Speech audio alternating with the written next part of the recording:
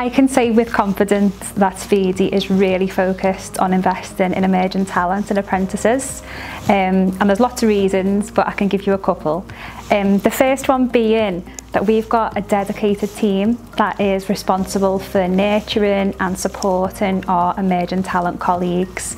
And that team is made up of the most passionate, determined and supportive people um, who genuinely want to get the best out of young people's careers for them. So we're also part of the 5% Club, which is a commitment from Speedy that we're working towards having 5% of our colleagues in earn and learn positions.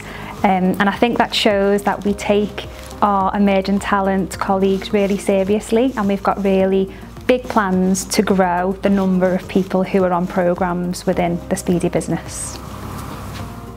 We also have some really excellent partnerships with organisations such as the Youth Group, and not going to uni. So those organisations are completely committed to learning and understanding what young people want from a career and helping them get what they what their ambitions are. So we work really closely with those organisations because we're really curious to understand what they learn and we want to make sure that we are really given the best experience to our emerging talent colleagues and we know that we need to understand what they need and what they want by working with organisations such as the youth group but not going to uni. So the second part of your question was why do we do it?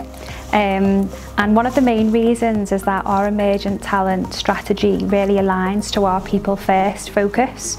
So at Speedy, we recognise that we need to put people at the heart of everything that we do. and our emerging talent programs are a key part of that. If we want to diversify and strengthen the talent pool within Speedy, emerging talent is a key part for that. So we want to make sure that we've got a really rich and diverse set of people within Speedy and by engaging and understanding what young people want and need from their careers that really helps us achieve that ambition. We also feel really passionate to make sure that we are giving young people opportunities. We recognise that the traditional graduate route isn't for everybody um, so we want to make sure that we're providing really great earn and learn positions for people to come in and get real world experience.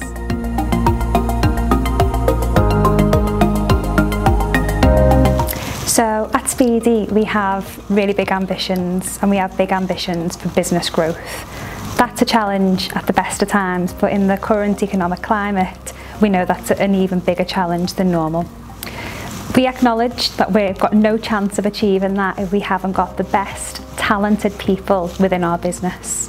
And we see emerging talent colleagues as a key part of that.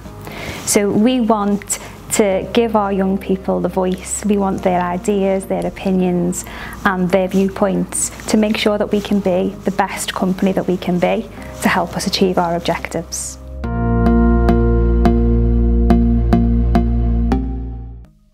So it really is really good um, for lots of reasons. Um, I think I've already mentioned that we've got a dedicated team that look after our colleagues. Um, we also have a really engaged and supportive leadership team who are 100% behind the emerging talent strategy that we've got. So they're really interested and supportive of bringing new, new young people into the business.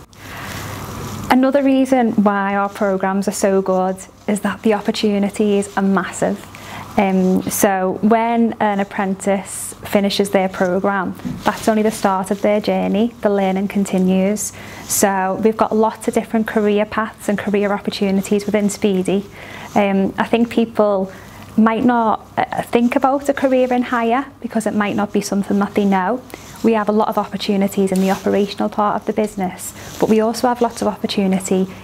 in things like IT, in finance, in ESG. So there's loads of different opportunities for people once they've finished their apprenticeship. And we encourage people to go across different departments and to try different things out within their careers.